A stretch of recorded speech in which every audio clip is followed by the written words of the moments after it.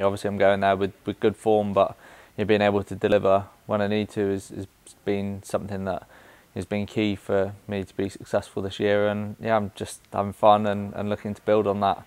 Obviously this weekend in Berlin and then throughout the, the remaining races ahead of the Worlds.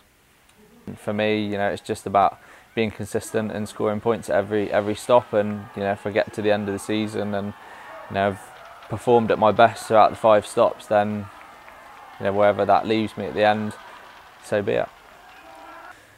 I don't think there's too much emphasis on performing well in Berlin in order to, to aid my chances of performing well in in um, Rotterdam for the World Champs. But yeah, they're, they're two very different races, and I think you know it's it's been a, a good time wearing that jersey over the last you know, 12 months or so. Um, you know, I've performed really well, I think, and I've done that just the jersey justice. I think that know, I raced well in Chula Vista at the end of last year, and that was my first World Cup wearing the wearing the stripes. And then, know, this season again raced well. So it seems to have gone really quickly. Um, but you know, I'm looking to, to do well again in Berlin, um, continue having fun, and then you know, prepare for the World Champs. It's five weeks after after Berlin until um, the World Champs in Rotterdam. So yeah, I'm looking forward to getting this World Cup done and then getting some work done ahead of trying to retain the, the world title.